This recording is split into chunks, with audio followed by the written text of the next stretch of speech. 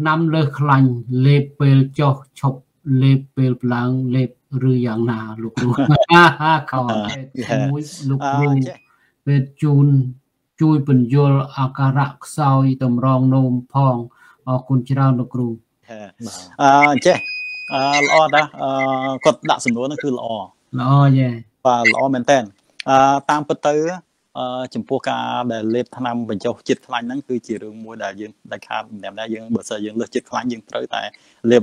នឹងហើយបូករួមជាមួយនឹងធ្វើការ exercise ហាត់ប្រាំហើយជាមួយនឹងកាត់បន្ថយនៅចំណីអាហារដែលមានជាតិខ្លាញ់ដូច្នេះបងប្អូនកុំអាងថាអូយើងមានថ្នាំបញ្ចុះជាតិខ្លាញ់ថោកថោកអីទេគិតតែពីលេបរាល់ថ្ងៃទៅហើយញ៉ាំមួយសេរីអានឹងជាការមួយយល់ខុសហើយណាបាទ ថ្នាំគ្រាន់តែជួយយើងដើម្បីឲ្យបដោះអាសន្ននៅពេលហ្នឹងសំខាន់គឺដើម្បីអ្វីដែលល្អបំផុតគឺថាការដែលយើងតอมចំណីអាហារដល់ខ្លួនយើងពិសានៅចំណីអាហារដែលមានផាសុខភាពអត់សូវមានខ្លាញ់កុំអាំងទៅលើថ្នាំណាកុំយកថ្នាំធ្វើជាចំណីហើយយកថ្នាំជាបង្អែកអានឹងមិនជាជំរឿសល្អទេបាទប៉ុន្តែពេលដែលយើងមានលើសកំពុងលើសជាតិខ្លាញ់យើងត្រូវតែប្រើហើយប៉ុន្តែបើសិនជាតិខ្លាញ់យើងចុះមកធម្មតាហើយយើងសាកឈប់ក្នុងរយៈពេល5ខែឬ6ខែ ក្នុងពេលហ្នឹងយើងញ៉ាំចំណីអាហារដែលវាមានផាសុកភាពតមឲ្យវានេះទៅមើលឲ្យហាត់ប្រាណមើលមើលឲ្យ6ខែក្រោយបើសិនយើងទៅពិនិត្យឡើងវិញបើសិនជាឃើញជាតិខ្លាញ់នៅតែអត់ឡើងទេអូខេបានន័យថាអ្វីដែលយើងធ្វើនឹងជោគជ័យហើយបាទសូមអរគុណអាហារណាខ្លះដែលនាំឲ្យឡើងជាតិខ្លាញ់នឹងជាតិអាស៊ីតសូមអរគុណបាទអូខេចំពោះជាតិខ្លាញ់ជាមួយនឹងជាតិអាស៊ីតអឺសំណួរនេះគឺល្អអាហារដែលនេះហ្នឹងគឺថា អឺបើនិយាយឲ្យវាចំទៅគឺថាសាច់សត្វសាច់សត្វហ្នឹងគឺថាខ្លាញ់ណាប៉ុន្តែជាពិសេសដែលមានខ្លាញ់ហើយវាមានជាតិអាស៊ីតប្រភេទអាស៊ីតគេអាស៊ីតយូរិកដែលធ្វើឲ្យយើងរលាកសន្លាក់រលាកអីហ្នឹងអាហ្នឹងគឺថាអាហារដែលគ្រឿងក្នុងគ្រប់ប្រភេទគ្រឿងក្នុងរបស់សត្វឲ្យតែគ្រឿងក្នុងរបស់សត្វហ្នឹងគឺវាសម្បូរទៅដោយកូលេស្តេរ៉ុលហើយជាមួយនឹងអាស៊ីតយូរិកប្រភេទអាស៊ីតណា ដូច្នេះនៅក្នុងនៅក្នុងគ្រឿងក្នុងរបស់សត្វហ្នឹងគឺថាគួរជៀសវាងឆ្ងាញ់ណាស់អឺផាក់លើផាក់អីហ្នឹងគឺថាអ្នកណាគួរសឹងតែទូទៅអ្នកណាគួរចូលចិត្តដែរមិនអញ្ចឹងប៉ុន្តែអឺគួរតែកាត់បន្ថយយូរយូរយើងញ៉ាំម្ដងទៅណាអាហ្នឹងជាជាតិអាស៊ីតច្រើនណាស់ប្រភេទនេះហ្នឹងប្រភេទគ្រឿងក្នុងរបស់សត្វហ្នឹងបាទហើយជាមួយនឹង red meat ភាសា red meat គេសាច់ក្រហមឲ្យតែសាច់សត្វ សាច់គោសាច់គោសាច់ជៀមសាច់ពពែសាច់អីហ្នឹងដែលនេះហ្នឹងគឺ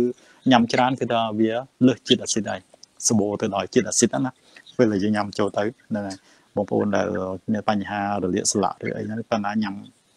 សាច់សត្វនឹងច្រើនគឺថាឃើញគាត់ដឹងភ្លាមហ្មងព្រោះឲ្យគាត់ឈឺចាំវាកើនណាវាកើនជាអាស៊ីតហ្នឹងណាបាទបាទអរគុណអរគុណអរគុណច្រើនបងអូនសុផនសេងអឺ ខ្ញុំសូមសួរលោកពេទ្យគ្រូពេទ្យថាតើមូលវីមូលទីវីតាមីនយើងនឹងអាចហូបរាល់រាល់ហូបរាល់អីរាល់បានទេរាល់ពេលរាល់ថ្ងៃបានទេជាប្រចាំបានទេគាត់ខ្វះពាក្យនឹងមួយនឹងរាល់ពេលក៏រាល់ថ្ងៃទេតើវាអាចជួយអ្វីខ្លះ ល្អទេពាក្យ multi vitamin ហ្នឹង syndrome ហ្នឹង syndrome ហ្នឹង multi vitamin ហ្នឹងគឺថាវាមានវីតាមីនគ្រប់បែបយ៉ាងហ្នឹងគឺអត់បញ្ហាបើសិនជាហ្នឹងគឺជាគេថាអាហារបំពេញបន្ថែមបំពន់ទេណាដូច្នេះมันជាបញ្ហាទេអាហ្នឹងគឺល្អហើយសម្រាប់ត្រួតត្រងជួនកាលទៅការយើងញ៉ាំចំណីអាហាររាល់ថ្ងៃហ្នឹងវាមិនប្រកាសថាយើងញ៉ាំគ្រប់បានគ្រប់ជីវជាតិទេណាវាបន្លែខ្វះនេះមាននោះអញ្ចឹងណាដូច្នេះ អឺมันជាបញ្ហាទេខ្ញុំក៏ខ្ញុំញ៉ាំរាល់ថ្ងៃដែរនេះហ្នឹងអឺវីតាមីនហ្នឹងខ្ញុំក៏មកគ្រាប់មកគ្រាប់ជាប្រចាំដែរហ្នឹងបាទគឺល្អទេជាជាសរុបអត់មានប៉ះពាល់អីទេបាទជំរាបសួរលោកពូទាំងពីរបើកូនក្មេងនៅតូចតូចញ៉ាំសាច់ជ្រូក3ជាន់ច្រើនជាងសាច់សុទ្ធតើក្មេងនោះនឹងអាចមានលើសជាតិខ្លាញ់ឬទេបាទ អឺវ័យណាក៏ដូចវ័យណាដែរតោះតើក្មេងគេអាចមានអឺលទ្ធភាពអាចញ៉ាំខ្លាញ់បានច្រើនជាងយើងមនុស្សចាស់គឺដោយសារអីដោយសារក្មេងគេធ្វើចលនាច្រើនហើយគ្រឿងប្រដាប់របស់គេក៏វានៅល្អទី1ទី2គឺថាក្មេងគឺថាធ្វើ activity ច្រើនណាស់ហើយណាមួយអឺក្មេងអកាលណាយើងនិយាយរួមទៅឲ្យតែញ៉ាំច្រើនគឺថាមិនល្អហើយស្អីក៏ដោយគឺថាញ៉ាំច្រើនគឺថាពេកគឺអត់ល្អហើយ មិនមែនថាមានអាងតែកូនក្មេងឲ្យញ៉ាំច្រើនមិនអីណាគួរមិនល្អដែរធ្វើឲ្យកូនក្មេងហ្នឹងងាយនឹងគេថាលើសគីឡូជាងធម្មតាធ្វើឲ្យប៉ះពាល់ទៅដល់អឺថ្លើមរបស់កូនក្មេងទៀតណាវាជាមួយនឹងថងប្រមាត់របស់ក្មេងគួរប៉ះពាល់ដែរបាទបាទអរគុណបងការបរិភោគបន្លែបែកបៃតងមួយថ្ងៃ3ពេលប្រហែលជាកន្លះគីឡូរៀងរាល់ថ្ងៃយូរអង្វែងអាច លើសជាតិដែកដែរឬទេនៅឬឬដែរឬទេទៅអរគុណច្រើនលោកបាទអឺល្អសំណួរហ្នឹងហើយតាមពិតទៅដូចយើងបានដឹងហើយបញ្ហាជាតិដែកបើសិនជាយើងជាមនុស្សយើងសរីរាង្គរបស់យើងធម្មតាយើងមិនមានប្រវត្តិជាអ្នកពូជអម្បូរដែលយើងមានអ្នកជីដូនជីតាយើងមានជំងឺលើសជាតិដែក យើងក៏មិនមានអ្វីដែលគួរឲ្យព្រួយបារម្ភអំពីបញ្ហាលើសជាតិដែកហ្នឹងដែរណាព្រោះជាតិដែកក្នុងសរីរាង្គរបស់យើងហ្នឹងគឺថាគឺល្អណាស់បើសិនរាងកាយរបស់យើងហ្នឹងការញ៉ាំទៅគឺថារាងកាយរបស់យើងហ្នឹងគឺស្រោបយកមកល្មមនៅក្នុងការប្រើក្នុងប្រចាំថ្ងៃ10មីលីក្រាមក្នុងមួយថ្ងៃទេដូច្នេះទោះបីយើងញ៉ាំច្រើនជាងហ្នឹងក៏រាងកាយរបស់យើងវាទទួលស្គាល់ទទួលយកក៏ប៉ុណ្្នឹងដែរក៏មិនជាបញ្ហាដែរប៉ុន្តែក្នុង លក្ខណៈមួយទៀតគឺថាដោយសាររាងកាយរបស់យើងនឹងធ្លាប់មានបញ្ហាលើសជាតិដែកដោយសារជំងឺផ្លូវពោះវៀនឬក៏ដោយសារដំណពូជអាហ្នឹងយើងគួរតែកាត់បន្ថយដែរណាបើសិនជាបច្ចុប្បន្នយើងកំពុងតែមានអាការៈលើសជាតិដែកអាហ្នឹងយើងគួរតែកាត់បន្ថយកុំញ៉ាំច្រើនពេកអញ្ចឹងណាប៉ុន្តែជាទូទៅបើយើងអត់មានបញ្ហាអីទេគឺតែញ៉ាំទៅជាពិសេសគឺជាតិដែកពីបន្លែផ្លែឈើគឺថាវាមានវាស្រូបចូលទាំងរាងកាយរបស់យើងហ្នឹងគឺបានតិចហ่ะ ប៉ុន្តែជាតិដែកដែលមកពីសាច់សត្វសាច់ក្រហមជាមួយនឹងថ្លើមគួរថ្លើមជ្រូកថ្លើមមន់ថ្លើមអីហ្នឹងគឺថាសម្បូរជាតិដែកហើយជាតិដែកទាំងអស់ហ្នឹងគឺងាយស្រូបចូលទៅក្នុងរាងកាយរបស់យើងច្រើនដូច្នេះបកមកសំណួររបស់គាត់គឺថាអត់បញ្ហាណាញ៉ាំច្រើនគឺអត់បញ្ហាទេគឺថែមទាំងល្អទៀតអឺបន្លែអញ្ចឹងគូបញ្ហារលាកថងប្រមាត់ហ្នឹងគូគេលើកទឹកចិត្តឲ្យយើងកាត់បន្ថយខ្លាញ់ហើយយើងគួរតែញ៉ាំបន្លែផ្លែឈើឲ្យបានច្រើន បាទអរគុណអរគុណច្រើនស្រីលីនសួស្តីលោកពូ SK និងលោកប្អូនពេទ្យទាំងពីរបាទសូមអរគុណ Terry Smith ចុះបើចុកនៅចុងដង្ហើមតើជំងឺអ្វីដែរលោកវិជ្ជបណ្ឌិតបាទអឺចំពោះបញ្ហាចុកនៅចុងដង្ហើមហ្នឹងគឺថាភាកច្រើនគឺថាសឹងដល់10ហ្នឹងគឺថាវាមាន9ហើយវាដោយសារបញ្ហាយើងរលាកកាពះដោយសារកាពះរបស់យើងហ្នឹងគឺរលាក រលាកហ្នឹងគឺដោយសារវាលើសជាតិអាស៊ីតលើអីហ្នឹងក៏ធ្វើឲ្យយើងចុកហើយធ្វើឲ្យយើងពិបាកដកដង្ហើមដកដង្ហើមទឹះទឹះអញ្ចឹងណាអាហ្នឹងជារោគសញ្ញានៃការអឺរលាកកាពះហើយយើងគួរដឹងបើកាលណាចុកអញ្ចឹងអញ្ចឹងបានវិជ្ជាមិនតែសួរថាឥឡូវចុកនៅពេលណាចុកនៅពេលដែលយើងឃ្លានឬក៏ចុកនៅពេលយើងញ៉ាំហើយណាបើសិនជាចុកនៅពេលយើងឃ្លានបានន័យថាយើងទើបនឹងជារោគសញ្ញាមួយដែលធ្វើឲ្យយើងរលាកកាពះដោយសារលើសជាតិអាស៊ីតណាបើសិនជា ចុកនៅពេលដែលយើងញ៉ាំហើយអាហ្នឹងក៏ជារោគសញ្ញានៃការឈឺកាពះដែរប៉ុន្តែធ្វើឲ្យយើងវិជ្ជាបណ្ឌិតការពីចំណោះខ្ញុំរៀនគេនេះចឹងព្យាបាលគឺព្យាបាលតាមរោគសញ្ញាចឹងអឺបើសិនយើងញ៉ាំហើយវាឈឺបានន័យថាកាពះរបស់យើងហ្នឹងវាមានរបួសហើយយល់ទេដូច្នេះគេបែងចែកបើសិនជាពេលឃ្លានញ៉ាំញ៉ាំពេលញ៉ាំចូលទៅវាបាត់ឈឺអាហ្នឹងបានន័យថាយើងនៅក្នុងដំណាក់កាលស្រាលទេណា គ្រាន់តែលើសជាតិអាស៊ីតទេដូច្នេះយើងគ្រាន់តែយើងញ៉ាំទឹកឲ្យច្រើនយើងញ៉ាំចំណីអាហារកុំឲ្យវាមានជាតិអាស៊ីតច្រើនអញ្ចឹងទៅហើយជាមួយនឹងញ៉ាំពិសាទឹកឲ្យបានគ្រប់គ្រាន់អាហ្នឹងយើងអាចជាប៉ុន្តែវាខុសគ្នាអញ្ចឹងដូច្នេះឈឺនៅចុងដង្ហើមហ្នឹងគឺភាគច្រើនគឺឈឺដោយសាររលាកកាពះឬក៏កាពះជាតិអាស៊ីតច្រើននៅក្នុងកាពះបាទអរគុណអរគុណសាសាខ្ញុំចាក់ថ្នាំថ្លើម5ដង លើកទី4ចាក់បន្ទាប់ពី បន្ទាប់ពីលើកទី3នៅគឺជាគឺមួយឆ្នាំហើយចាក់លើកទី4គឺរយៈពេល5ឆ្នាំ បន្ទាប់ពីចាក់លើកទី4ចាក់បាន5ដងដោយសារចាក់3ដងពិនិត្យឃើញអងទីកតិចទៅពេទ្យឲ្យចាក់5ដងចាក់ដល់ទៅ5ដងតើអាចការពារ ថ្លើមវិញបានរហូតទេលោកគ្រូសូមអរគុណបាទសំណួរនេះល្អសំណួរនេះល្អបើសិនជាមីសភីគាត់នៅមិនហ្នឹងគាត់រីករាយណាស់ក្នុងការដាក់សំណួរនេះតែតកតងទៅបញ្ហាថ្លើមហ្នឹងព្រោះតកតងទៅជាមួយនឹងអង្គការ Liverwell របស់គាត់ហ្នឹងណាអឺខ្ញុំសូមឆ្លើយនៅសំណួរគឺថាតាមពិតទៅយើងថ្មីថ្មីរបបកំហើញថ្មីថ្មីនឹងរបស់អង្គការ Liverwell គេបានអះអាងថ្មីថ្មីហ្នឹងនៅអូស្ត្រាលីគេថា ហើយធៀបពិតទៅបញ្ហាហ្នឹងគេបានបញ្ជាក់តាំងពីកាលពី30ឆ្នាំមុនតាំងពីខ្ញុំនៅជានិស្សិតពេទ្យកាលពីខ្ញុំនៅរៀនដើមឆ្នាំ90នោះខ្ញុំចាក់តាំងពីអង្គការនោះឆ្នាំទៅចាប់ដើមពេលនោះឆ្នាំនៅថ្លៃប៉ុន្តែខ្ញុំចាក់តាំងពីចំនួននោះហើយគេបាន កាលពីចំនួននោះគេបានអះអាងថាឆ្នាំយើងចាក់គឺថាទីមទាបើសិនជាយើងអត់មាន positive ទេយើងអត់មានមេរោគរលាកតាមទេយើងចាក់3ដូសហ្នឹងណាគឺចាក់3ដូសហ្នឹងហើយគឺថាមិនបាច់ទៅចាក់អីទៀតទេគឺថាមួយជីវិតរបស់យើងហ្នឹងគឺថាការពារអស់មួយជីវិតហើយបញ្ហារលាកថ្លើមប្រភេទ B ហ្នឹងណាប៉ុន្តែក្នុងរយៈពេលមករយៈក្រោយនេះទៀតឃើញវិជ្ជាបណ្ឌិតសឹងទូទាំងពិភពលោកនៅស្រុកខ្មែរនៅអូស្ត្រាលីនៅអាមេរិក ខ្ញុំឃើញដែរគេចាក់ដុសទី3ហើយទៅពិនិត្យអត់ឃើញអង្គតិកអញ្ចឹងគេលើកទឹកចិត្តឲ្យយើងចាក់គេ boost ដើម្បីមជុលទី3ទី4ទី5អីចឹងណាហើយដល់ទៅពេលសឹងធ្វើអញ្ចឹងគ្រប់គ្រប់គ្នាប៉ុន្តែចំពោះដល់ទៅពេលថ្មីថ្មីហ្នឹងអង្គការ Liverpool Australia គេទំបានអះអាងសារឡើងវិញគេថាมันមានមានការចាំបាច់ដើម្បីចាក់នៅមជុលទី4ឬទី5ទេឲ្យតែយើងចាក់បានក្នុង3មជុល តាមតាមធើមរបស់វានឹងហើយគឺថាមួយជីវិតរបស់យើងហ្នឹងទោះបីយើងទៅឆែកមើលឃើញអង្គតិកយើងអត់មានឬក៏តិចក៏មិនត្រូវការចាក់ទៀតដែរដូច្នេះមិនបាច់ភ័យទេយើងមិនបាច់ទៅចាក់ដល់មជ្ឈលទី6ឬទី7ទេណាកុំឲ្យអស់លុយអានេះតាមការអះអាងរបស់អូស្ត្រាលីមិនមែនខ្ញុំនិយាយណានេះពីអង្គការ Liverpool បាទសូមអរគុណ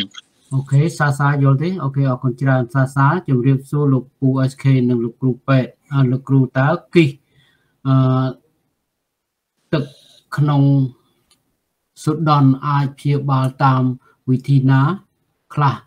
វះកាត់ឬបូម ឬលេបថ្នាំសូមអរគុណក្នុងសុដនទឹកក្នុងសុដនដែលលឺទេដែលមានជប់ទេបាទគោមានមានមានលក្ខណៈហ្នឹងគោវាអាចមានដែរគេថាគិះហ្នឹងវាវាមានគិះមួយគឺថាគិះដោយសារ កោសិការបស់យើងទី2គឺដោយសារគេ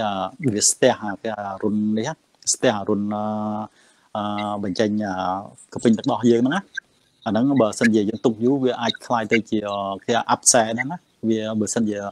ក្នុងលក្ខណៈដែលបើសិនជាគាត់មានអាគិសនឹងនៅពេលដែលកំពុងតែបំបើកូនហើយសម្រាប់គាត់មានបញ្ហាស្ទះរុនទឹកដោះហ្នឹងណាគាត់ធ្វើឲ្យគាត់ហើមឡើង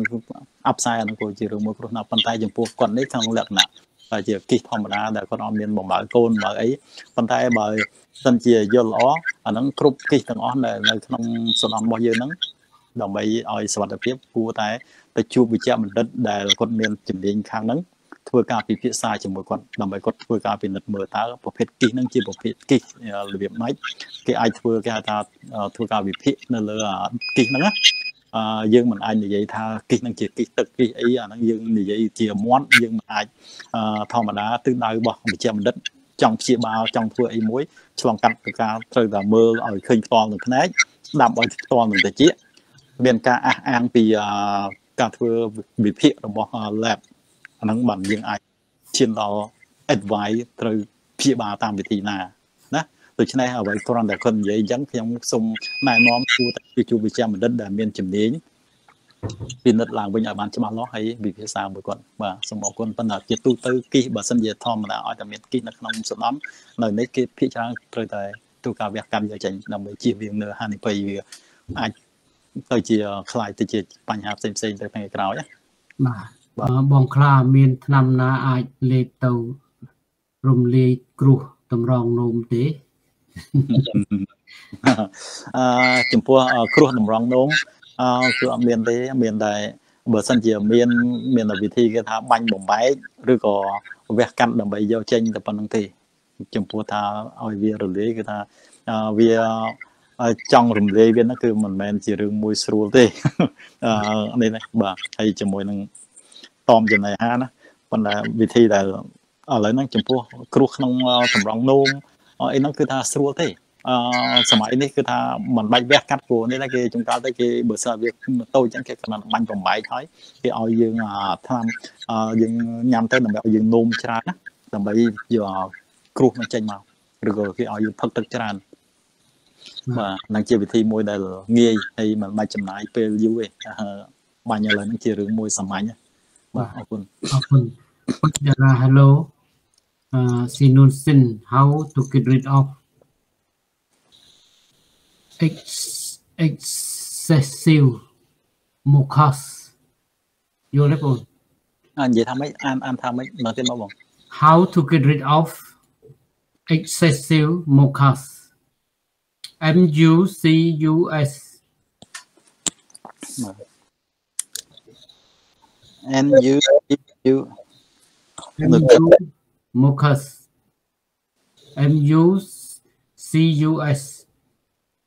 ហើយចុះអាពាក្យពាក្យពាក្យដែលគាត់និយាយដើមខាងមុនហ្នឹងស្អីគេគាត់និយាយថា how to rip off ណាឬក៏មិន excessive E X C E S S I V E excessive yeah excessive អឺ អត់ដឹងហើយបងអាហ្នឹងតើធ្វើការឆែកឡើងវិញណាទៅនេះចាំឆ្លើយគាត់នៅពេលក្រោយបាទអាហ្នឹងខ្ញុំព្រោះថ្មីដែរខ្ញុំព្រោះអត់អត់ច្បាស់ហ្នឹងព្រោះសុំអត់ឆ្លើយណាបាទបាទ okay uh, we can answer you now because uh, yeah. not clear okay thank yeah. you very much put uh, the this question and we'll see mr richard lim will come to so to tell you later okay thank you អឺសុកទៀងគ្រួយសួស្ដី លោកពី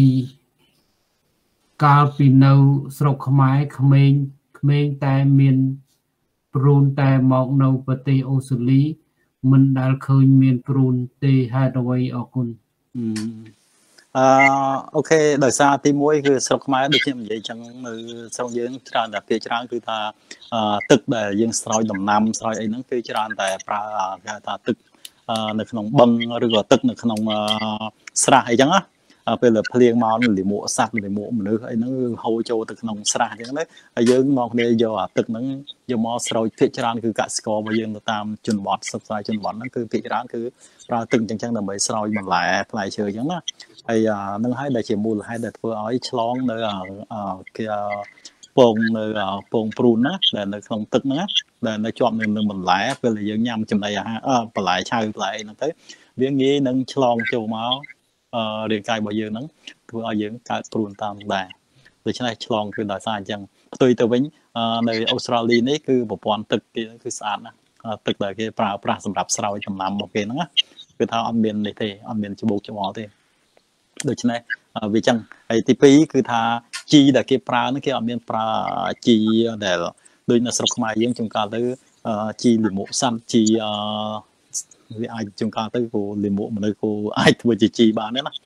បាទអាហ្នឹងជាដើមហេតុដែលធ្វើឲ្យយើងឆ្លងដល់ជំងឺហ្នឹងបាទចំពោះនៅនេះគឺគ្រប់គ្រងបាននៅបញ្ហាជំងឺឆ្លងតាមចំណីអាហារហ្នឹងគេគ្រប់គ្រងបានចឹងហើយវាអត់មានបញ្ហាហ្នឹងណាបាទអរគុណ M M E R ហ្នឹងណា Yeah M E R អឺ Alzheimer Alzheimer ជំងឺនេះទេ Alzheimer ហ្នឹងគឺថាជំងឺគេហៅបង្វែងបង្វាន់ណាជំងឺដែល Alzheimer អានោះគឺថាជំងឺអ្នកដែលវ័យពេលយើងវ័យចាស់បន្តិចទៅយើងភ្លេចភ្លាំងជំងឺដែលភ្លេចភ្លាំងធ្វើឲ្យដោយសារមូលហេតុដែលយើងខ្វះអឺមូលហេតុវាច្រើនណាស់ជាពិសេសអ្នកដែលខ្វះគេងអឺដូច្នេះជំងឺហ្នឹងគឺជំងឺភ្លេចភ្លាំងជំងឺដែលវង្វេងរបស់មនុស្សចាស់ ឬក៏ជំកាលទៅគាត់នៅក្មេងដែរប៉ុន្តែដោយសារអឺខួរក្បាលរបស់គាត់ហ្នឹងវាវាស្វិតវារួញធ្វើឲ្យការអង្គចងចាំនៅខួរក្បាលរបស់គាត់ហ្នឹងវាបាត់បង់ហ្នឹងគេហៅ Alzheimer ហ្នឹងអាហ្នឹងជាជំងឺភ្លេចភ្លាំងហើយជាពិសេសអ្នកដែលគេថាសម័យនេះបងប្អូនដែលខ្វះខ្វះគេងជាប្រចាំ អត់ល្ងុយជាប្រចាំគេងអត់គ្រប់គ្រាន់ជាប្រចាំហ្នឹងគឺមានហានិភ័យណាស់នឹងពេលដែលយើងចាស់បន្តិចទៅយើងនឹងមានជំងឺ Alzheimer ហ្នឹងគឺជំងឺភ្លេចភ្លាំងហ្នឹងគឺថាទទួលនៅហានិភ័យច្រើនណាស់ហើយអ្នកដែលជាពិសេសទៅអ្នកដែលគេគឺថា stress ជាប្រចាំព្រោះធ្វើឲ្យគាត់ងាយនឹងកើតជំងឺហ្នឹងដែរបាទសូមអរគុណជំងឺអង្គការជំងឺវង្វេងវង្វាន់ជំងឺមនុស្សចាស់ជំងឺផ្ទៃឃ្លាំងណាបាទនិយាយចំទៅបាទអូខេអរគុណព្រោះខ្ញុំ ខ្ញុំប្រហែលជាការជំងឺនឹងដែរពាក្យវ៉ែនតាពាក្យវ៉ែនតាចុះណាវ៉ែនតាអានឹងប្រហែលជារោគនឹងដែរណាបាទអាហ្នឹងក៏វាជារឿងមួយដែលនេះដែរដូច្នេះវិធីដើម្បីជៀសវាងកុំឲ្យបញ្ហាហ្នឹងកាន់តែធ្ងន់ធ្ងរធ្វើការហាត់ប្រាណឲ្យបានទៀងទាត់ដើម្បីឲ្យឈាមសប់ទៅខួរក្បាលយើងស្រោចទៅខួរក្បាលយើងគ្រប់គ្រាន់អ្នកដែលគឺថាខ្វះអុកស៊ីហ្សែនខួរក្បាលជាប្រចាំក៏ងាយនឹងធ្វើឲ្យមានបញ្ហា នឹងដែរហើយជាមួយនឹងគេងត្រូវគេងឲ្យវាគ្រប់គ្រាន់គេងជារឿងមួយសំខាន់ណាស់ដែលគឺប៉ះពាល់ទៅអង្គចងចាំរបស់យើងហ្នឹងគឺថានេះដូច្នេះគេងឲ្យបានគ្រប់គ្រាន់ដើម្បីជៀសវាងដើម្បីបើថាខ្លាចគួរតែជៀសវាងក្នុងការអត់ល្ងុយហើយគួរតែអង្គុយរំលឹកនៅរឿងដើមរបស់យើងឬចាស់ចាស់ចាស់ចាស់ពីមុនពីមុនមកអាចយើងទៅសេជាអត្ថបទមួយរបស់យើងទៅណាអាហ្នឹងធ្វើឲ្យយើងងាយចងចាំអាហ្នឹង ជារឿងមួយដែលធ្វើឲ្យខួរក្បាលរបស់យើងហ្នឹងវាកុំឲ្យវាស្វិតណាបាទអរគុណចង់ដឹងថាអាការៈរលាកស្រោមប្រមាត់ធ្វើទុកបែបធ្វើទុកយ៉ាងណា ខ្លះបងហើយការតាមវិធីណាការពារតាមវិធីណាការពារហ្នឹងហើយបាទការពារតាមវិធីណាដែរដោយក្តីគោរពពីខ្ញុំបាទសែមសូបាទជួយខ្ញុំគាត់ទៅគាត់ចូលក្រោយគេ ហ្នឹងហើយខ្ញុំក៏រំលឹកឡើងវិញបន្តិចទៅហើយដើម្បីឲ្យបងប្អូនដែលទៅចូលមកក្រោយៗហ្នឹងគាត់អាចយល់បានថែមឬមួយក៏អាច share ចុច share មួយទៅដើម្បីយើងទុក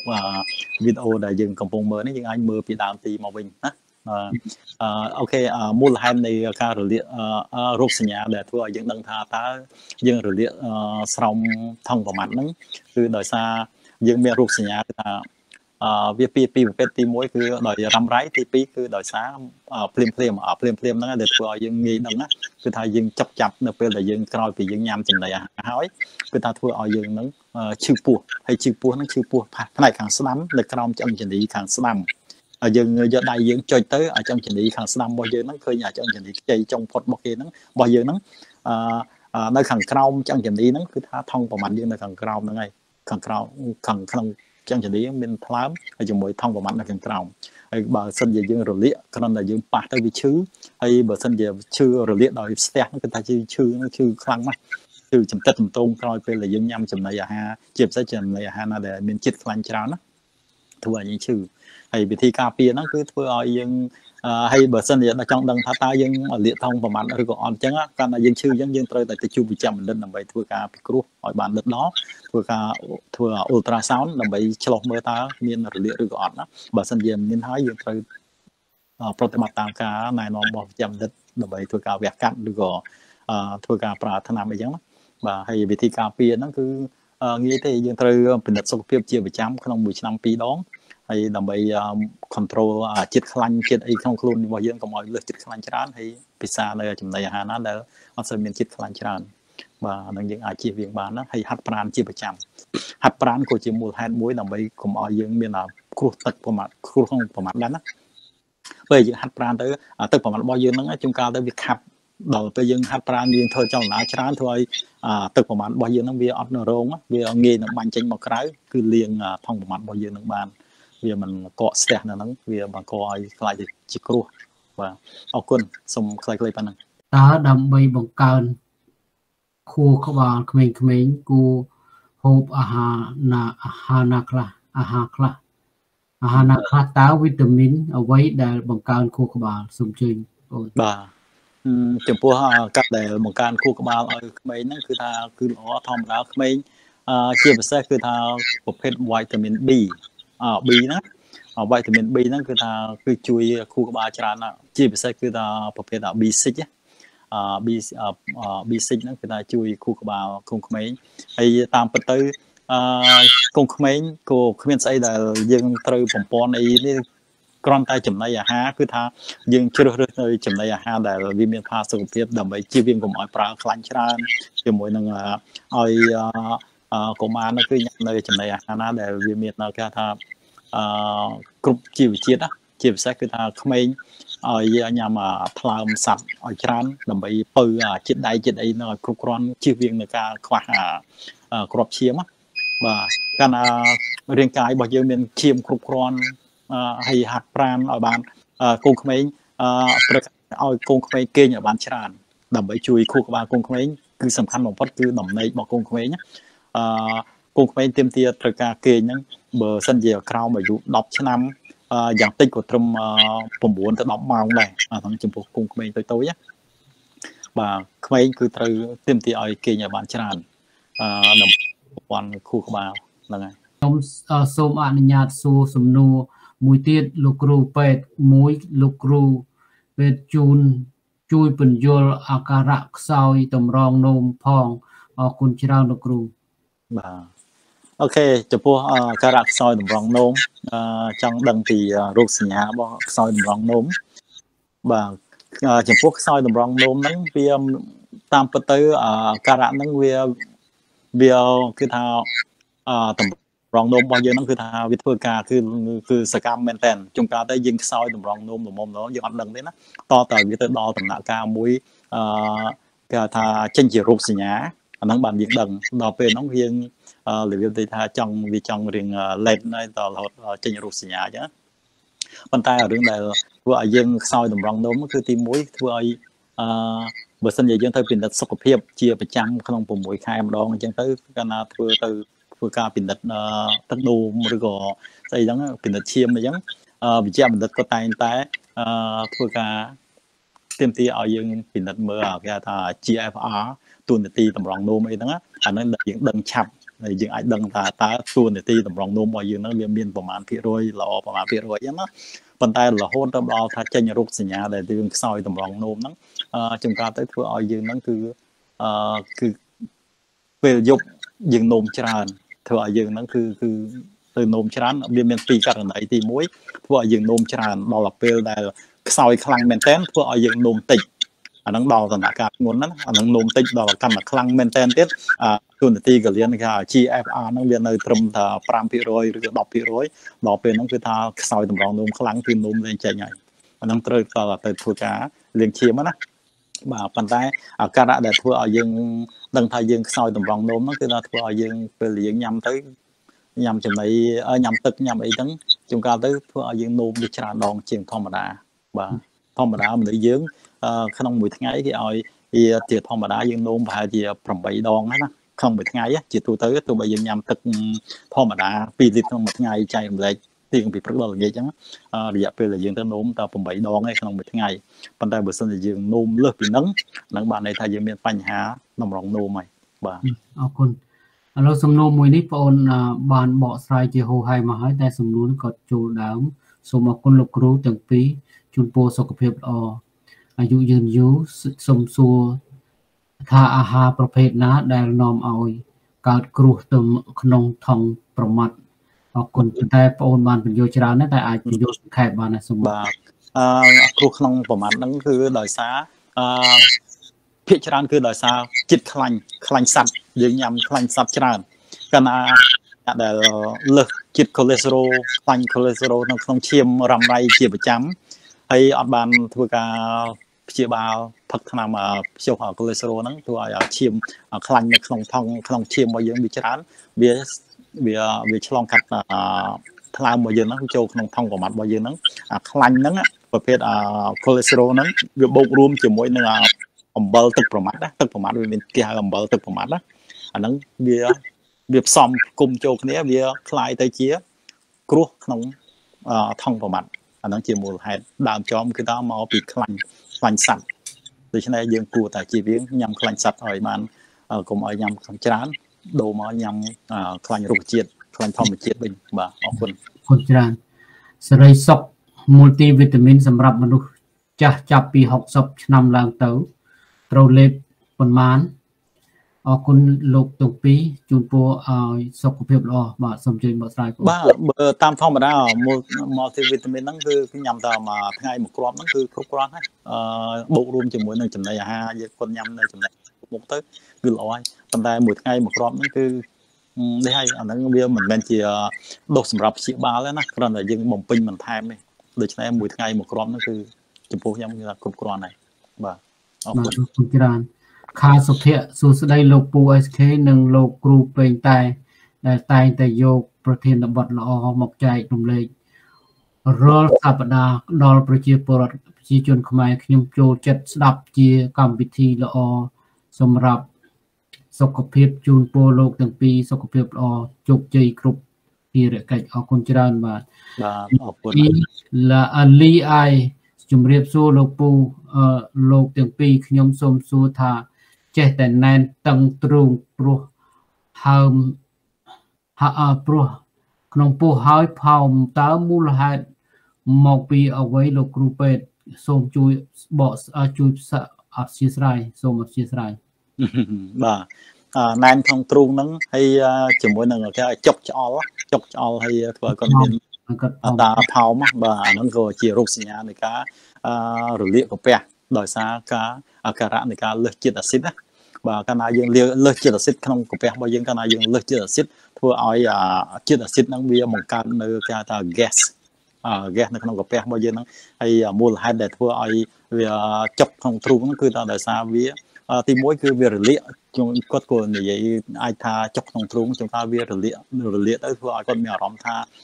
ឈឺក្តៅទៅក្នុងគេហៅ heart burn ណាអាហ្នឹងក៏ជាមូលហេតុមួយនៃការរលាកកាពះដែរ ហើយបើសិនជាអាចគួរតែទៅជួបប្រចាំដិតដើម្បីធ្វើការពិនិត្យឲ្យច្បាស់លាស់ឬក៏ទៅកន្លែងអសុទ្ធដ្ឋានណាយើងទិញអាថ្នាំបញ្ចុះជាតិអាស៊ីតទៅគឺពិសាទៅនេះហើយចុកទ្រូងហើយគាត់អាចគាត់ថែមទាំងគាត់ពិបាកនឹងការដកដង្ហើមទៀតណោះគាត់លឿថប់ថប់ក្នុងទ្រូងដកដង្ហើមដកទៅលឿដកអត់អស់ពីក្នុងស៊ូតរបស់យើងដោយសារអីដោយសារកាពះរបស់យើងនៅវាសម្បូរហ្គាសហ្នឹងវាច្រាលវាបុកទៅស៊ូតផ្នែកខាងមុខរបស់យើងហ្នឹង ធ្វើឲ្យសន្ទះទ្រូងសន្ទះស៊ូតរបស់យើងហ្នឹងវាសន្ធឹងអត់បានពេញវាធ្វើឲ្យយើងដកដង្ហើមទៅគឺថាអត់ពេញនៅក្នុងស៊ូតរបស់យើងហ្នឹងធ្វើឲ្យពិបាកមានអាការៈថាពិបាកដកដង្ហើមអញ្ចឹងណាបាទអរគុណអរគុណច្រើនប្រាក់នៃការរលាកកាពះលើសជាតិអាស៊ីតបាទអរគុណអរគុណច្រើនអូខេអឺរលាកកាពះដល់ទៅណាមិញ អូខេចិនដាហួតសួស្តីលោកពូខ្ញុំសូមសួរថាអ្នកចាក់វ៉ាក់សាំងកូវីដបាន2ដូសហើយហើយឆ្លងទៀតឆ្លងកូវីដទៀតហើយតើរយៈពេលប្រហែលខែទៀតទើបយើងចាក់វ៉ាក់សាំងដូសជំរុញបាន បន្ទាប់ពីព្យាបាលកូវីដហើយជាហើយបាទអឺ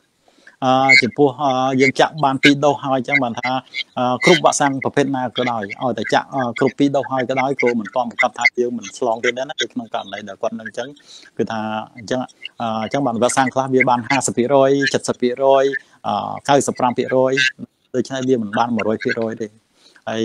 បើសិនគាត់ឆ្លងអញ្ចឹងហើយត្រូវការធ្វើការព្យាបាលអឺឲ្យអស់ហើយតតែក្នុងរយៈពេល1ខែក្រោយឬក៏យើងត្រូវ ជួបនៅវិជ្ជាបណ្ឌិតដែលព្យាបាលយើងហ្នឹងឲ្យគាត់ពិនិត្យឃើញថាដាច់ខាតយើងប្រកាស100%យើងអត់មានកូវីដនៅក្នុងខ្លួនយើងទៀតអាហ្នឹងបានយើងអាចចាក់វ៉ាក់សាំងបន្ទាប់ពីក្រោយហ្នឹងទៅបានយើងអាចមានការដើម្បីចាក់វ៉ាក់សាំងដូសទី3ជំរុញថែមទៀតណាសំខាន់ពេលដែលយើងកំពុងតែនៅមានកូវីដនៅក្នុងខ្លួនវាមិនអាចចាក់វ៉ាក់សាំងបានទេអត់មានប្រសិទ្ធភាពទេណាបាទអរគុណច្រើនសុផាន់ពេងលោកគ្រូពេទ្យខ្ញុំអឺ វ៉ាក់សាំងខ្ញុំចាក់វ៉ាក់សាំងអស់ខ្ញុំវ៉ាក់សាំងចាក់ឲ្យដូសអង្គទីកការពារថ្លើមតែវាអត់ដូសអង្គទីកខ្ញុំចង់ចាក់ទៀតរហូតដល់9ដងយីច្រើនម៉េះតើអាច មានប៉ះពាល់អ្វីដែរឬទេបាទបើសិនជាយើងអត់មាន positive បើនិយាយឲ្យវាចំទៅបើសិនយើងអត់មាន positive អត់មានវិជ្ជមានមេរោគប្រភេទ B ហ្នឹងយើងអត់មានរលាកថ្លើមប្រភេទ B ទេហើយយើងបានចាក់វ៉ាក់សាំង3ដូសគ្រប់ហើយយើងចាក់គេថា boost ហ្នឹងដូសទី4ទី5ទី6រហូតលើគាត់ចាក់ដល់ទី8ទី9ហើយអញ្ចឹងដូច្នេះតាមការអឺរបបកម្រើកការអះអាងរបស់អង្គការ Level នៅអូស្ត្រាលីថ្មីថ្មីហ្នឹងគេបានបញ្ជាក់ថាយើងអត់មានចាំបាច់ដើម្បីទៅធ្វើការចាក់ដូសទី4ទេដូច្នេះចាក់ត្រឹមតែដូសទី3ហើយគឺថាអង្គទីគាត់ហ្នឹងវាអាច ទោះបីទៅឆែកឃើញអង្គទីកឬក៏មិនឃើញក៏យើងអត់មានចាំបាច់ដើម្បីចាក់ដុសទី4ដែរអាហ្នឹងតាមការអាថ្មីថ្មីហ្នឹងដូច្នេះខ្ញុំលើកទឹកចិត្តមិនគួរមិនបាច់ទៅចាក់ទៀតទេ ជាការសវត្ថិភាពរបស់យើងហើយអឺអ្វីបើអត់មានឆែកអត់ឃើញអង្គទីកក៏ដោយក៏មិនបាច់ទៅធ្វើការចាក់បន្តទៀតដែរយើងដូច្នេះក្នុងរាងកាយរបស់យើងហ្នឹងវាមានអង្គតិកលហ្នឹងគឺវាស្គាល់ជាមួយអេបថយ TSB នឹងរួចហើយបើសិនជាវាមានចូលមក គឺថាវានឹងប្រឆាំងភ្លាមហើយបាទអរគុណអរគុណអូខេអឺភីមលួនអរគុណច្រើនលោកទាំងពីរដែលចង់អឺចង់សួរថាពេលមនុស្សចាស់នៅតែទៅតែតែងតែវង្វេងនឹងទុនខ្សោយដើម្បីការពារបញ្ហានេះ ត្រូវអនុវត្តសុអនុវត្តសកម្មភាពរបៀបណាបែបកញ្ចង់ស្អីចឹងណាហ្នឹងហ្នឹងអូខេ អាហ្នឹងចូលប្រភេទតែ Alzheimer ណាជំងឺ Alzheimer ហ្នឹងអាហ្នឹងបាទអឺគឺជាទូទៅពេលមនុស្សណាដូចមនុស្សណាដែរគ្រាន់តែច្រើនឬក៏តិចហ្នឹងណាអ្នកដែលអាយុកាន់តែចាស់កោសិកាខួរក្បាលរបស់យើងអង្គចងចាំហ្នឹងកាន់តែចុះខ្សោយទៅខ្សោយទៅខ្សោយទៅហើយអ្វីដែលយើងអាចជួយបានគ្រាន់តែយើងទប់កុំឲ្យការថយរិចរិលហ្នឹងវាទៅលឿនប៉ុណ្្នឹងទេប៉ុន្តែថាឲ្យវាកើនឡើងវិញគឺអត់មានកើនបន្តទេទេណាដូច្នេះវិធី ដែលងាយងាយហ្នឹងគឺថាសំខាន់គឺថាយើងគេងឲ្យបានគ្រប់គ្រាន់ធ្វើលំហាត់ប្រាណឲ្យបានទៀងទាត់ជាប្រចាំដើម្បីសពយកគេហៅថាអុកស៊ីហ្សែនទៅចិញ្ចឹមរាងកាយខួរក្បាលរបស់យើងនោះឲ្យបានគ្រប់គ្រាន់ព្រោះថាខួរក្បាលរបស់យើងហ្នឹងគឺរស់បានគឺដោយសារកោសដោយសារអុកស៊ីហ្សែនដើម្បីទៅចិញ្ចឹមខួរក្បាលរបស់យើងដូច្នេះសំខាន់ណាស់ការហាត់ប្រាណហ្នឹងគឺជានេះមួយដើម្បីបើកសរសៃឈាមយើងហ្នឹងទៅចិញ្ចឹមស្រោចស្រពខួរក្បាលរបស់យើងអាហ្នឹងជួយ ទប់ឲ្យខួរក្បាលរបស់យើងហ្នឹងគឺវានៅស្រស់ថ្លារហូតវាកាត់បន្ថយនឹងការភ្លេចភ្លាំងគេងឲ្យគ្រប់ហាត់ប្រាណឲ្យបានគ្រប់គ្រាន់ហើយជាមួយនឹងញ៉ាំនៅចំណីអាហារដែលមានផាសុខភាពជាពិសេសគឺប្រភេទខ្លាញ់ត្រីគេហៅ omega 3អឺគឺគាត់ត្រូវញ៉ាំជាប្រចាំព្រោះថាខួរក្បាលរបស់យើងត្រូវការអឺ omega 3ហ្នឹងដែរដើម្បីបំពន់ខួរក្បាលហ្នឹងបូករួមនឹងបូករួមជាមួយនឹងឲ្យគាត់ អឺត្រូវតែធ្វើការដូចថាទំនាក់ទំនងនិយាយរឿងរំលឹកនៅរឿងចាស់ឲ្យបានច្រើនឬក៏ការដែលធ្វើរៀនគិតលេខគិតអីកុំស្អីរៀងប្រើកាត់ចូលប្រើអីច្រើនពេកធ្វើឲ្យខួរក្បាលរបស់យើងនឹងកាន់តែស្ពឹកស្ពឹកទៅកាន់តែរួញទៅរួញទៅដូច្នេះខួរក្បាលរបស់យើងត្រូវការឲ្យយើងធ្វើលំហាត់ខួរក្បាលតាមរយៈ បូកលេខបូកអីយើងគិតអីហ្នឹងយើងគិតកុំស្អីបន្តិចមកទាញអាកាសចូលគិតឲ្យខួរក្បាលយើងនៅទនេអាហ្នឹងជារឿងមួយធ្វើឲ្យការចងចាំរបស់យើងចុះខ្សោយបាទអរគុណអរគុណសុផុនសេងសូមថ្លែងអំណរគុណបងទាំងពីរតែងតែធ្វើកម្មវិធីធម្មទានជូនដល់បងប្អូនសុខសប្បាយទាំងអស់គ្នាបងអូខេអរគុណច្រើនអរគុណឆេនសុងលោកគ្រូពេទ្យខ្ញុំ ញ៉ាំទឹកមួយថ្ងៃ4លីត្រមានកើតអ្វីអត់ខ្ញុំនៅស្រុកខ្មែរទេបាទសូមអរគុណបាទចំពោះស្រុកខ្មែរយើងអាចញ៉ាំ4លីត្រប៉ុន្តែស៊ីសងទៅលើការដែលគាត់ធ្វើការឬក៏បញ្ចេញពលកម្មច្រើនឬក៏អត់ចឹងណាប៉ុន្តែជាទូទៅអឺមនុស្សយើងពេញវ័យគឺត្រូវការត្រឹម2លីត្របើសិនជាយើងធ្វើការនៅខាងក្រៅមានចេញញើសចេញអីច្រើនអញ្ចឹងយើងអាចឡើងទៅដល់3លីត្រក៏ជារឿងមួយ ត្រឹមត្រូវប៉ុន្តែបើឈានទៅដល់4លីត្រក៏มันជាគ្រោះថ្នាក់ឲ្យដែរត្រឹម4លីត្របើក្នុងករណីដែលគាត់ធ្វើការនៅខាងក្រៅមានកម្ដៅថ្ងៃខ្លាំងឬក៏បែកញើសច្រើនឬក៏អីចឹងអាហ្នឹងគាត់អាចប្រើញ៉ាំទៅដល់4លីត្របានប៉ុន្តែចំពោះអ្នកដែលនៅធ្វើតែក្នុងផ្ទះអត់សូវបញ្ចេញពលកម្មហើយលើថាញ៉ាំពិសាទឹកច្រើនគឺល្អគឺថាទៅដល់4លីត្របើគីឡូត្រឹមប៉ុនបងឬក៏ គីឡូត្រឹម60អីទៅដល់4លីត្រអាហ្នឹងវារៀងលើសជាតិទឹកហើយហើយលើសចិត្តទឹកហ្នឹងគឺទឹកគឺថាបើសិនយើងចេះប្រើគឺជាឱសថមួយដែលព្យាបាលជំងឺ100មុខអាហ្នឹងបើសិននិយាយពីទឹកហ្នឹងគឺថាគ្រប់នេះប៉ុន្តែបើសិនយើងអត់ចេះប្រើคล้ายទៅជាជាគេហៅក៏មានគេហៅ side effect ដែរគួរអស់សំណើចទេយ៉ាងណាយើងផឹកទឹកច្រើនមាន side effect ចាក់វ៉ាក់សាំង នៅក្នុងគ្នាខ្លាច side effect មកក្នុង5 6លានអ្នកមានតែកក់ឈាមម្នាក់ពីរនាក់អីក្នុងគ្នាស្រេកភ័យប៉ុន្តែចំពោះផឹកទឹកហ្នឹងដូចនេះផឹកទឹកបើសិនជាមនុស្សយើងធម្មតាមានតូចហើយយើងកំពុងមានបញ្ហាលើសឈាមអមជំងឺលើសឈាមផងហើយយើងញ៉ាំប្រឹងញ៉ាំទឹកក្នុងមួយថ្ងៃដល់4លីត្រអញ្ចឹងបានលើសហើយណាលើសជាទឹកកាលណាទឹកច្រើននៅក្នុងរាងកាយរបស់យើងក៏អត់ល្អដែរគឺធ្វើឲ្យវាជាតិរ៉ែនៅក្នុងសរីរាង្គរបស់យើងហ្នឹងវារាវវារាវ វារាវដូច្នេះរាងកាយរបស់យើងហ្នឹងក៏ពិបាកក្នុងការអត់គ្រប់ជាតិរ៉ែនៅក្នុងសរីរាង្គហ្នឹងហើយមួយទៀតវាអាចធ្វើឲ្យយើងសជាតិទឹកនៅក្នុងនេះហ្នឹងក្នុងកោសិការបស់យើងហ្នឹងក៏អត់ល្អដែរបាទអរគុណបងអរគុណអូខេខ្ញុំញ៉ាំលើសចំនួនមួយថ្ងៃមុនកាលទៅពិនិត្យ process state ហ្នឹងញ៉ាំទឹកច្រើនធ្វើឲ្យខ្ញុំពិបាកដូចជាអូនមានប្រសាសន៍អញ្ចឹងអាជាតិរ៉ែវា ស្ដើងហើយជាតិអាស៊ីតវាណែតច្រើនធ្វើឲ្យខ្ញុំឆ្លាហាចង់ងប់ហើយអូខេអរគុណច្រើនដោយសារពេលវេលាក៏ជិតដល់ហើយសំណួរក៏ចេះមកអូខេអឺសុខាលៀង then then dementis dementia is memory loss ជំងឺបាទដូចដូចយ៉ាបាទហើយជាមួយនឹង Alzheimer ហ្នឹងបាទ loss memory បាទដូចគ្នាហ្នឹងបាទ បាទអរគុណអរគុណច្រើនហើយនឹង excessive mocus គឺ slash ច្រើនបាទអរគុណច្រើនអឺលោកសុខាលៀងដែលបានជួយបកស្រាយព្រោះយើងអត់មានពេល check dictionary ពពេលវេលាវាច្រើន បាទសូមអរគុណ Linda Kuhn លោកគ្រូតើធ្វើដូចម្ដេចកុំឲ្យមានអាស៊ីតនៅក្នុងក្រពះច្រើនអរគុណលោកគ្រូនិងលោកលោកពូបាទសូមជួយបកស្រាយបាទ បញ្ហាដែលកុំឲ្យមានអាស៊ីតក្នុងផ្ទះច្រើនហ្នឹងទំនួលគាត់ល្អទីបើសិនជាយើងចេះយើងចេះគ្រប់គ្រងដោយមិនបាច់ប្រើថ្នាំទេខ្ញុំគ្រាន់តែប្រាប់វិធីងាយងាយដើម្បីកាត់បន្ថយជាតិអាស៊ីតទី1ជៀសវាងក្នុងការដែលអត់ល្ងុយពេលយប់កាលណាយើងភ្ញាក់ភ្ញាក់យប់ពេកធ្វើឲ្យរាងកាយរបស់យើងហ្នឹងគឺថាវាបញ្ចេញជាតិអាស៊ីតហ្នឹងហើយកាពះហ្នឹងគឺ ខ្លាំងមែនទែននៅពេលយប់ហ្នឹងគឺថាបើសិនយើងនៅក្រគេងនៅយប់ពេកណាគឺថាធ្វើឲ្យយើងមានអារម្មណ៍ថាយើងឃ្លានបាយហេវនៅពេលយប់គឺដោយសារអីដោយសាររាងកាយរបស់យើងហ្នឹងវាអូតូម៉ាទិកវាបញ្ចេញជាតិអាស៊ីតមកទី1ជាវាងក្នុងការភ្ញាក់គេងលេតពេកនៅក្នុងពេលយប់ទី2អឺយើងញ៉ាំចំណីអាហារគឺញ៉ាំឲ្យវាទៀងទាត់កុំឲ្យពោះយើងដល់ពេលម៉ោងយើងញ៉ាំហើយយើងអត់ញ៉ាំរំលងដូចធម្មតាម៉ោង ម៉ោង10យើងត្រូវញ៉ាំចំណីពេលព្រឹកម៉ោង6យើងត្រូវញ៉ាំចំណីពេលល្ងាចអញ្ចឹងដល់ពេលម៉ោងយើងអត់ញ៉ាំអាហ្នឹងគឺធ្វើឲ្យជាតិអាស៊ីតរបស់យើងនៅវាសល់ហ្នឹងគឺធ្វើឲ្យយើងលើសជាតិអាស៊ីតនៅក្នុងពេលណាហើយដើម្បីជៀសវាងគឺយើងញ៉ាំទឹក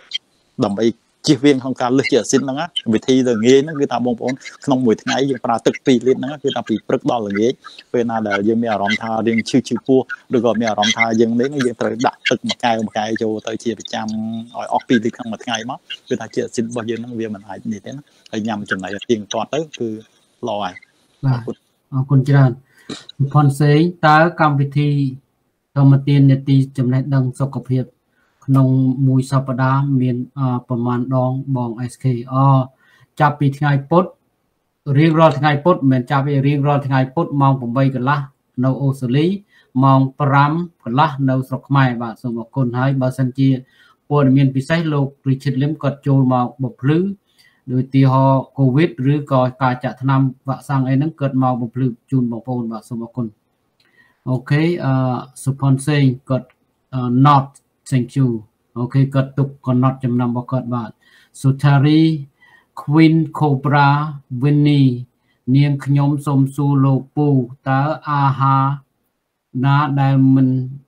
គួរញ៉ាំសម្រាប់អ្នកដែលមានជាតិអាស៊ីតនៅក្នុងក្រពះអរគុណបាទអឺជាតិអាស៊ីតក្នុងក្រពះបើនិយាយឲ្យវាចំទៅគឺថារបស់ដែលជូជូរបស់ដែលជូហើយជាមួយនឹងរបស់ហិលបាទហ្នឹងគឺថា ធ្វើឲ្យវារំញោចអាភ្នេះកាពះបញ្ចេញទឹកទឹកអាស៊ីតច្រើនណាដូច្នេះអាចិត្តជូរជាមួយហឹលហ្នឹងគឺថាយើងត្រូវតមបាទនឹងចំណីអាហារហ្នឹងហើយជាមួយនឹងអាជៀសវាងនៃការអន់ល្ងុយដូចខ្ញុំនិយាយមកអញ្ចឹងណាណាដើម្បីកុំឲ្យជាតិអាស៊ីតវាឡើងបាទចំពោះអាហារគឺអន់ហ្នឹងនឹងហើយជាមួយអាស៊ីតហ្នឹងមួយទៀតហ្នឹងគឺថាបើអាស៊ីតមួយទៀតគេអាស៊ីតយូរិកអាស៊ីតតាមសន្លាក់ដៃសន្លាក់ជើងអាហ្នឹងមកពីគ្រឿងក្នុងរបស់សត្វហ្នឹងណា បាទលោកគឹមស៊ីខ្ញុំលោកគ្រូខ្ញុំអាយុ57ភ្នែកខ្ញុំមិនភ្នែកឯណាដល់ណាបាទភ្នែកខ្ញុំអភ្នែកមិនខ្ញុំនៅមើលអក្សរក្នុងទូរទស្សន៍ឃើញតើបណ្ដាលមកពីលោកគ្រូបណ្ដាលមកពីអីលោកគ្រូអឺយេអឺដឹងមិនទេមនុស្សយើងចេះគេមានដំណាក់កាលមួយពេលល្វីពីអឺ ក្មេងរហូតដល់អាយុត្រឹម40ជាងទៅចន្លោះពី40ជាងទៅ50ជាងណាអាហ្នឹងជាពេលមួយដែលធ្វើឲ្យភ្នែករបស់យើងចុះខ្សោយហើយសឹងទូទៅណាប៉ុន្តែដល់ពេលក្រោយពី55ឡើងទៅហ្នឹងអាហ្នឹងភ្នែករបស់យើងហ្នឹងវាភ្លឺឡើងវិញអាហ្នឹងគឺថាជាទូទៅធម្មជាតិណាភាគច្រើនគឺអញ្ចឹងគឺអឺដោយសារអឺសរីរាង្គភ្នែករបស់យើងហ្នឹងគឺវាអា សមត្ថភាពហ្នឹងវាត្រឡប់មកវិញណាបាទមានច្រើនដែរខ្មែរយើងបាទច្រើនណាស់ហ្នឹងហើយច្រើនណាស់ដល់ពេលគាត់អាយុច្រើនបន្តិចគាត់ដោះវ៉ែនតាចេញគាត់ជប់ប្រើវ៉ែនតាក៏មានដែរហ្នឹងហើយច្រើនអត់ញ៉ាំទឹកមួយថ្ងៃលើលីត្រឯណានោះ1លីត្រមួយថ្ងៃ1លីត្រលើសតើយើងត្រូវយើងត្រូវញ៉ាំមួយថ្ងៃ3លីត្របានអត់ឬ សូមអរគុណលោកគ្រូបាទយល់យល់យល់នៅអ្វីគាត់គាត់ចង់មានប្រសាសន៍ហ្នឹងគឺថាអត់បញ្ហាទេគាត់អ្នកចំការហើយគាត់ធ្វើការអឺក្តៅដូចខ្ញុំនិយាយខាងឡើងខាងដើមអញ្ចឹងគឺថាមិនជាបញ្ហាទេបើសិនជា3លីត្រឬក៏ឈានទៅដល់4លីត្រក៏មិនជាបញ្ហាដែរសំខាន់គឺថាតតាមតែរូបភាពជាក់ស្ដែងគាត់ធ្វើចូលកាលយើងធ្វើនៅខាងក្រៅកម្ដៅថ្ងៃញើសចេញមកហ្នឹងគាត់ធ្វើយើងបាត់ចិត្តទឹកដែរណា ដូច្នេះអឺ3 3លីត្រមិនជាបញ្ហាទេចំពោះគាត់អីជាគាត់អាយុ60គឺល្អបើសិនជាអាយុកាន់តែច្រើនយើងញ៉ាំបានអញ្ចឹងគឺល្អតាទឹកហ្នឹងធ្វើឲ្យរាងកាយរបស់គាត់ហ្នឹងល្អបាទសុខភាពល្អបើនៅម៉ែល4ញ៉ាំច្រើនគុំបានដែរព្រោះអត់ចេញញើសបាទបាទនៅស្រុកខ្មែរធ្វើចំការចេញញើសល្អញ៉ាំច្រើនក៏អត់អីដែរបាទបាទវាធ្វើទុកទេបាទប៉ុន្តែផ្សេងតើការលេបថ្នាំមូលតាវីន ពេលណាល្អលោកគ្រូពេទ្យអឺវីតាមីនណាយេបាទញ៉ាំល្អបំផុតគឺពេលព្រឹកញ៉ាំនៅពេលព្រឹកបាទអឺព្រោះថាពេលដែលយើងញ៉ាំពេលព្រឹកគឺរាងកាយរបស់យើងហ្នឹងគឺថាធ្វើចលនាជាមួយនឹងត្រូវការនៅគ្រប់គឺថាវីតាមីនទាំងអស់ហ្នឹងដើម្បីទ្រទ្រង់រាងកាយរបស់យើងហ្នឹងហើយតាមការដែលណែនាំគឺថាពេលព្រឹកគឺជាពេលមួយល្អជាងគេក្នុងមួយថ្ងៃបាទបាទ អូខេអរគុណច្រើនបងអឺយ៉ានវ៉ារីសួស្តីលោកទាំងពីរខ្ញុំញ៉ាំអាហាររយៈអឺហើយវាអត់រលាយតើមានថ្នាំអ្វីលេបលោកគ្រូលោកអរគុណបាទអាញ៉ាំអាហារហើយមិនរំលាយអាហារហ្នឹងមែនទេបាទបាទអឺអាហ្នឹងក៏យើងគួរតែនេះដែរអាហ្នឹងទៅ pharmacy គេមានប្រភេទថ្នាំដើម្បីជួយរំលាយអាហារ ពេលដែលយើងញ៉ាំដែលមានអាការៈថាញ៉ាំហើយនៅចុកច្អល់នៅក្នុងពោះរបស់យើងអញ្ចឹងណាអឺគួរមានដែរទៅ pharmacy មានថ្នាំហើយបើសិនជាអឺតាមខ្ញុំយកល្អគួរតែគេហៅថា probiotic អាហ្នឹងយើងអាចទិញនៅតាម pharmacy ដល់ខ្លួនយើងបានណា probiotic ហ្នឹងអាហ្នឹងជាប្រភេទមួយគេហៅថា bacteria មេរោគមេរោគល្អណាណាមេរោគល្អចិត្តល្អណាណាមេរោគហ្នឹងមេរោគដែលចូលទៅគឺជួយឲ្យផ្លូវរំលាយអាហាររបស់យើងហ្នឹងធ្វើការបានល្អហើយយើងញ៉ាំមួយថ្ងៃមួយគ្រាប់មួយថ្ងៃមួយគ្រាប់ទៅគឺថាល្អមែនតើគឺថាប្រភេទហ្នឹងណាបាទអឺឬក៏អឺអ្នកដែលមានបញ្ហាហ្នឹងយើងគួរតែញ៉ាំមកគេនៅស្រុកខ្មែរគេហៅយ៉ាវហ៊ូតយ៉ាវហ៊ូតដែលគេធ្វើដាក់លក់នៅតាមអឺកន្លែងលក់ ភេសជ្ជៈឬអីហ្នឹងយ៉ាវហ៊ូតបងដែលនេះណាបើយើងនៅនេះយ៉ាវហ៊ូតបោះបោះបោះជប៉ុនគេធ្វើក្រុមហ៊ុនជប៉ុនណា10ទីទួយហ្នឹងញ៉ាំបាទយ៉ាវយកយកបាទក្នុងមួយថ្ងៃយើងញ៉ាំពីកំប៉ុងទុយទុយហ្នឹងគឺល្អមែនតើអាហ្នឹងជាប្រភេទបាក់យ៉ាអាហ្នឹងអប្រូដូចជាយើងញ៉ាំអាថ្នាំ probiotic ដែរវាប្រភេទ bacteria ដែរប៉ុន្តែអាហ្នឹង bacteria នៅរស់ បើ probiotic វាមានពីរប្រភេទប្រភេទមួយគឺតែប្រភេទដែលមេរោគវានៅរស់ហើយមួយទៀតគឺមេរោគស្ងួតវានៅនេះយើងពេលញ៉ាំទៅក្នុងពេលយើងញ៉ាំចូលទៅវាធ្វើឲ្យមេរោគនៅរស់នៅក្នុងពោះវៀនយើងហ្នឹងវាជួយក្នុងការរំលាយអាហារបាទគូនេះដែរអាហ្នឹងគេហៅ probiotic បាទទៅតាម pharmacy នីមួយមួយតែមានលក់ហើយហើយបើនៅបែបប៉ុនហ្នឹងទៅកន្លែងលក់សុទ្ធចារ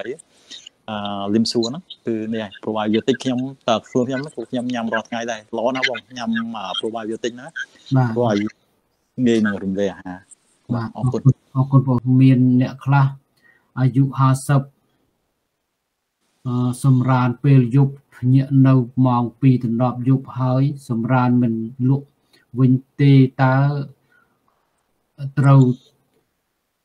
ធ្វើដូចម្ដេចបានដេកលក់វិញបាទ បាទអឺល្អអានេះក៏ជារោគសញ្ញាមួយដែរណាអឺជាពិសេសអឺភាកច្រើនច្រើនតែកើតឡើងនៅមនុស្សស្រី ដែលគេហៅថាអាយុពី45ទៅ50ដែលក្នុងរយៈពេលដែលគាត់ក្នុងដំណាក់កាលដែលគាត់ចិត្តអស់រដូវបំរែបំរួលអរម៉ូនក្នុងរាងកាយរបស់គាត់ណាក៏ធ្វើឲ្យគាត់នឹងមានបញ្ហាក្នុងចិត្តរបស់គាត់នឹងនិយាយថាអឺ គ្រប់ស្ត្រីដែលចិត្តអស់រដូវហ្នឹងគឺថាគាត់មានអាការៈហ្នឹងហើយធ្វើឲ្យគាត់គេងពេលយប់ហ្នឹងក៏គេងឲ្យបានស្រួលដែរគេងពិបាកគេងណាដោយគាត់អាការៈដូចគាត់អញ្ចឹងគឺគេងរហូតដល់ម៉ោង2ទៅដល់ម៉ោង1អីភ្ញាក់ភ្ញាក់ឲ្យប្រឹងគេងទៅវិញគេងអត់បានទេពិបាកនឹងគេងត្រឡប់ទៅវិញណាអាហ្នឹងគឺដោយសារបំរែបំរួលអរម៉ូនក្នុងរាងកាយរបស់គាត់ទី1គឺដោយសារគាត់នឹងគិតច្រើនពេលថ្ងៃហ្នឹងគាត់ជួនកាលគាត់ stress ខ្លាំងពេកណាអឺបើសិនយើងមនុស្សប្រុសគួរអញ្ចឹងដែរមនុស្សដែល ដែលដែលមានបញ្ហាហ្នឹងវាអាចងាយនឹងទៅជាបញ្ហាគេ depression ទៅថ្ងៃក្រោយបើសិនជាអាការៈនឹងវានៅតែកើតឡើងយូរអង្វែងអឺមូលហេតុវាមានគេហៅថាតាមលក្ខណៈវិទ្យាសាស្ត្រធ្វើឲ្យយើងគេងមិនលក់ឬក៏គេងបានបន្តិចហើយភ្ញាក់កណ្ដាលយប់ហ្នឹងគឺដោយសារយើង stress ដែល stress ជាជាប្រចាំ ខ្ញុំគ្រាន់តែសំបកស្រាយបន្តិចកន្លែងហ្នឹងឲ្យគាត់យល់បញ្ហា stress ហ្នឹងបើសិនជាយើងមិនមិនដោះស្រាយបញ្ហា stress បញ្ហាផ្លូវចិត្តរបស់យើងយើងនៅគិតច្រើនពេកយើងមិនមានដំណោះស្រាយធ្វើឲ្យពេលដែលយើង stress ក្នុងរាងកាយរបស់យើងហ្នឹងយើងមានគេហៅកពេញមួយ pituitary gland ដែលនៅក្នុងខួរក្បាលយើងវាបច្ចៈវាបជាមកអា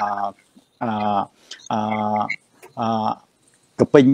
នៅលើកលៀនរបស់យើងហ្នឹង នៅលើនៅកលៀនរបស់យើងវាមានកពេញមួយគឺកពេញហ្នឹងសម្រាប់បញ្ចេញអរម៉ូនហ្នឹងសំខាន់ណាស់គេហៅ adrenal nano gland adrenal no អា gland ហ្នឹងជាវាមានតួនាទីសម្រាប់បញ្ចេញអរម៉ូនហ្នឹងដើម្បីអឺអឺបំពេញតម្រូវការរាងកាយរបស់យើងកាលណាដែលយើងព្រួយច្រើនណាធ្វើឲ្យរាងកាយរបស់យើងហ្នឹងកពេញរបស់យើងហ្នឹងយើងអឺកពេញនៅនៅខួរក្បាលយើងហ្នឹងវាបញ្ជាឲ្យយើងបញ្ចេញអា លំពេងរបស់យើងអកលៀនរបស់យើងវាបញ្ចេញគេជាតិមួយគេថា cortisol cortisol ជាមួយ adrenaline វាបញ្ចេញមកដើម្បីធ្វើធ្វើឲ្យយើងនឹងគិតច្រើនណាធ្វើឲ្យយើងអឺរបៀបដូចថាពុះពៀក្នុងការអឺគិតគូរនៅបញ្ហាគ្រប់បែបយ៉ាងពេលយើង stress ទៅធ្វើឲ្យវាបញ្ចេញអាជាតិនឹងមក cortisol ជាមួយ adrenaline ហ្នឹងកាលណាវាបញ្ចេញមកច្រើន អឺអុកម៉ូនប្រភេទ cortisol ហ្នឹងដែលជាមូលហេតុធ្វើឲ្យយើងគេងអត់លក់អញ្ចឹងអ្នកដែល stress គឺថាដោយសារលំពេង adrenal adrenal gland របស់យើងហ្នឹងវាបញ្ចេញអា cortisol មកច្រើនធ្វើឲ្យក្នុង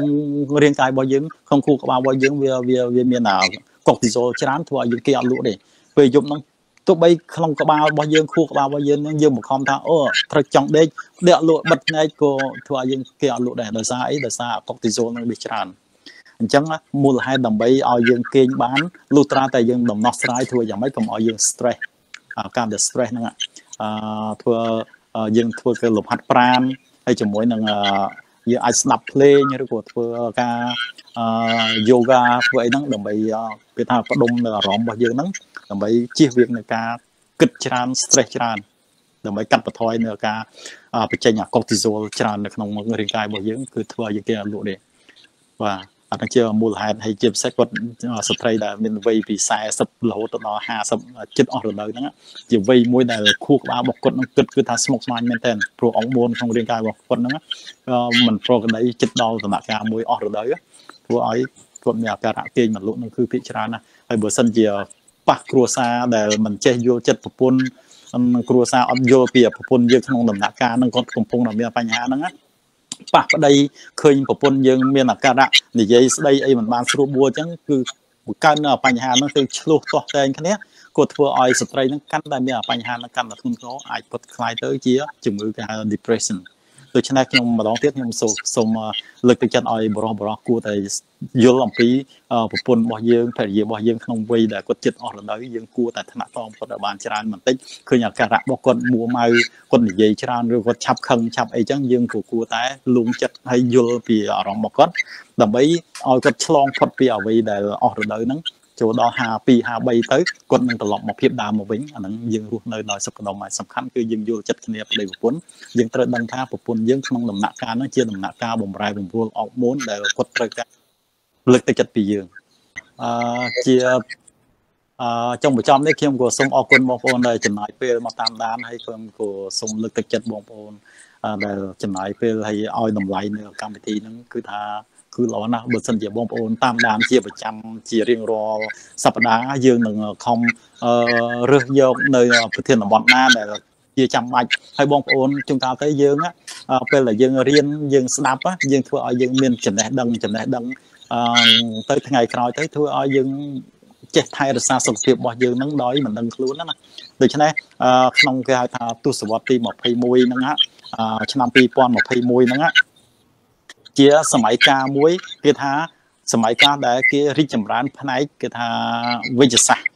ដែលធ្វើយ៉ាងម៉េចដើម្បីឲ្យមនុស្សយើងមានអាយុវែងជាងនេះអង្កលពីឆ្នាំ2ឆ្នាំ2000ជាសម័យកាលដែលគេហៅថារីកចម្រើនផ្នែកគេថាអឺបច្ចេកវិទ្យាផ្នែកគេថា social ផ្នែកអ៊ីនធឺណិតផ្នែកអីហ្នឹងគឺថានេះដល់ចូលឆ្នាំ2000 2010 អានឹងវារីកចម្រើនផ្នែកស្អីគឺក្នុង2 10ឆ្នាំម្ដង10ឆ្នាំម្ដងប៉ុន្តែដូច្នេះយើងក្នុងដំណាក់កាល2021នេះជាដំណាក់កាលដែលធ្វើយ៉ាងម៉េចដើម្បីឲ្យយើងបានរស់បានអាយុវែងដូច្នេះក្នុងរយៈពេល2 3ឆ្នាំខ្ញុំឃើញនៅក្នុងបណ្ដាញក្នុងអ្នកវិទ្យាសាស្ត្រគឺគេខំខិតខំស្រាវជ្រាវណាស់ធ្វើយ៉ាងម៉េចដើម្បីឲ្យយើងបានរស់បានអាយុវែងណា ដូច្នេះយើងគួរគួរតែតាមដាននៅរាល់នៅកម្មវិធីដែលយើងលើកយកមកនឹងចែករំលែកធ្វើយ៉ាងម៉េចដើម្បីឲ្យយើងចេះតាមដានចេះថែរក្សាសុខភាពរបស់យើងឲ្យបានយើងរស់បានយូរជាពិសេសគឺថាអ៊ំអ៊ំខ្ញុំសូមស្ដាំជាពិសេសចំពោះអ៊ំអ៊ំជាទីស្រឡាញ់ខ្ញុំមានអារម្មណ៍ថាខ្ញុំស្រឡាញ់មនុស្សដែលមានអាយុ50 60 70ឡើងទៅហ្នឹងគាត់ជាជាអាយុកាលមួយដែលខ្ញុំ ចង់ឲ្យគាត់មានសុខភាពល្អព្រោះថាក្នុងរយៈពេលកន្លងមកជីវិតរបស់គាត់នឹងគឺថាជាពិសេសគឺសង្គមរបស់យើងនឹងតែម្ដងគឺថារស់នៅគឺដោយវេទនាណាដូច្នេះគាត់ខំប្រឹងប្រែងតាំងពីនំរហូតមកដល់នឹងគឺដើម្បីឲ្យកូនចៅគាត់មានទីលំនៅជ្រកកោនស្រួលបួរមានអីចឹងផ្ទុយទៅវិញសុខភាពរបស់គាត់គឺកាន់តែចាស់រហូតដល់គាត់អាយុ60 70នៅពេលបច្ចុប្បន្នហ្នឹងគឺថាគាត់ត្រូវការ សុខភាពរបស់គាត់ដើម្បីគាត់បាននៅមើលឃើញនៅសមិទ្ធផលដែលគាត់ខំនឹងប្រមាណហ្នឹងដូច្នេះសូមម្ដងទៀតសូមឲ្យបងបងអ៊ំអ៊ំដែលមានអាយុច្រើនហ្នឹងគឺគួរពិនិត្យសុខភាពឲ្យជាប្រចាំពិសាថ្នាំឲ្យបានជាប្រចាំជាពិសេសគឺថាថែរក្សាខ្លួនឲ្យឲ្យបានល្អបន្តិចព្រោះថាងាយកុំជិះវៀងក្នុងការធ្វើឲ្យយើងដួលជាពប់ជើងដួលបាក់ឆ្អឹងតាគៀកឬក៏បាក់ឆ្អឹងជើងឆ្អឹងអីហ្នឹងជារឿងមួយដែលធ្វើឲ្យគាត់នឹងងាយនឹង អាយុគាត់អត់បានវែងទេកាលដែលគាត់មានបញ្ហាហ្នឹងណាដូច្នេះដើម្បីឲ្យគាត់មានអាយុវែងគឺជៀសវាងយ៉ាងម៉េចគឺកុំឲ្យយើងដួលកុំឲ្យគាត់ដួលកុំឲ្យគាត់បាក់ឆ្អឹងតផាឆ្អឹងតាគៀកឆ្អឹងជើងអីហ្នឹងកាលណាយើងគាត់ដួលគាត់គាត់មិនងាយជាមិនងាយសះទេជាពិសេសអាយុរបស់គាត់អញ្ចឹងណាដូច្នេះឲ្យគាត់ប្រយ័ត្នប្រយែងមែនតើហើយប្រើត្រូវពិនិត្យទៅឲ្យកូននាំទឹកពេទ្យជាប្រចាំហើយប្រើថ្នាំតាមដាន សុខភាពឲ្យបានល្អដើម្បីទទួលនៅផលរបស់គាត់នឹងបាទអរគុណ